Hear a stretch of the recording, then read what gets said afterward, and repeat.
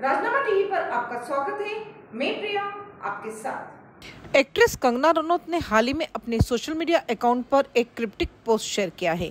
इस पोस्टर में उन्होंने एक फर्जी कपल के बारे में ज़िक्र करते हुए उन्हें फेक न्यूज़ फैलाने के लिए क्रिटिसाइज किया है।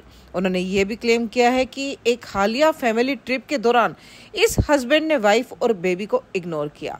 इतना ही नहीं हस्बैंड ने कंगना को मैसेज करते हुए उनसे मुलाकात करने की भीख भी मांगी। कंगना ने इससे पहले अपनी इंस्टाग्राम स्टोरीज में एक नए प्रोजेक्ट की नेगेटिव मीडिया कवरेज की फ़ोटोज़ भी शेयर की थी। मंगलवार को कंगना ने अपनी इंस्टा स्टोरीज में दो स्क्रीनशॉट शेयर किए। ये स्क्रीनशॉट उनकी अपकमिंग फ़िल्मों से जुड़े आर्टिकल के थे। इसे शेयर करते हुए उन्होंने लिखा, जब भी मैं कोई फ़िल्म अनाउंस करने वाली होती हूँ तो मुझे और मेरे को एक्टर को इंसल्ट करने वाली सुर्खियों के साथ साथ इस तरह के आर्टिकल छपने लगते हैं।